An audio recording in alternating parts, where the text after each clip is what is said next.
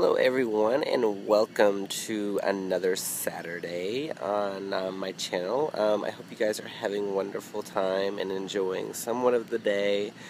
Um, I'm actually enjoying myself today. I'm trying to relieve a lot of stress and everything, just kind of relaxing on my hammock and um, just chilling. You know, it's kind of nice today. It was like, I think, almost 70, probably like 68, 70 degrees today.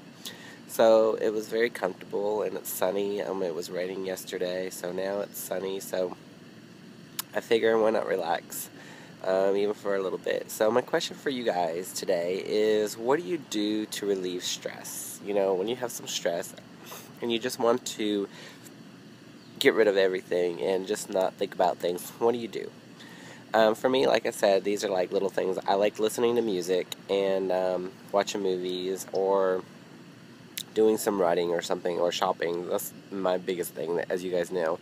Um, and then, of course, I do love to just basically um, sit on my hammock and just maybe read a book or something, but lounge and just relax and maybe fall asleep if I'm very tired. Uh, I'll just lay out here for a little bit.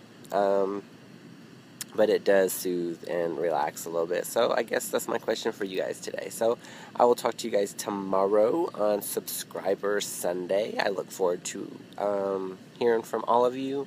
Again, have a great day and smile. Good guy. Goodbye, guys. Love you.